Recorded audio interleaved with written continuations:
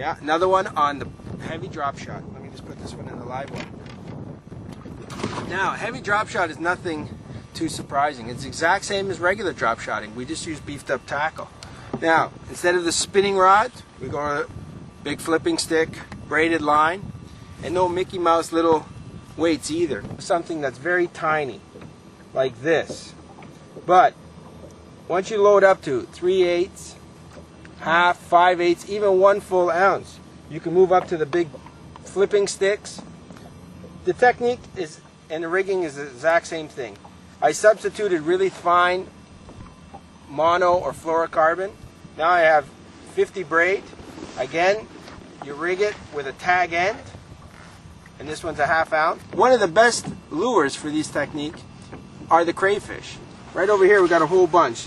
So any of these will work. This one's your kind of pumpkin with glitter. We got white is great color.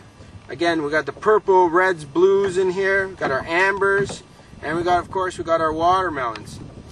Good thing about these are they're great for largemouth or smallmouth. Smallmouth are dynamite on the drop shot. And you'd be surprised how many big ones live in heavy grass or grass rock uh, transitions in the deeper weed lines. So this is a great technique. It's very simple. And of course, when you team it up with a big flipping stick, it's a lot of fun. I'm Luigi De Rose. Enjoy the outdoors.